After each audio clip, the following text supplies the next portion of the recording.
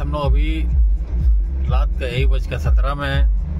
L वाला जो road है जहाँ पे बोध घूमते रहता